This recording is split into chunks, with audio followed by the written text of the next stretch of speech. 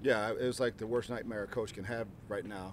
Uh, for me personally, I, was totally shocked because I know Jon a long time, and uh, and it was totally out of character from what I've known, and uh, so I was extremely uh, shocked by the incident, and and uh, but we have to move forward. Give a chance to- Oh, it's going to be a foul. What can you tell us about coach's message? Well, it's simple. Um, I don't think any of us condone hitting women. Um, I think a lot of us have, have seen that in person. You know what I mean? So, uh, and he just simply said that uh, as a coach and as a coaching staff, you know, he can't condone that. Um, and, obviously, we understand.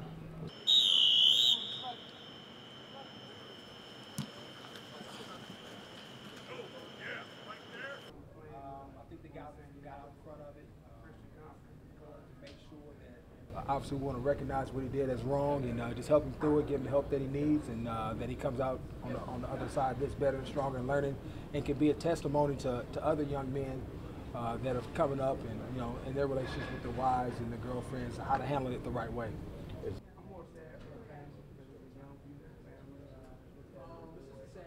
I mean, I'm more sad for the whole situation, you know, the families, you know, involved, on both sides. I mean, it's a young marriage, uh, got a beautiful little boy, and uh, I'm just saddened for just this whole ordeal on both sides. Get there, Robert. Good, right there. Good, bud. 97, 96. We have 10,000 kids in our system here in Maricopa County who are either neglected or abused, and, and we need to help them. And making more awareness, um, if this bad scar on the NFL, as you want to say right now, makes the rest of the world aware of what's going on, it's damn good.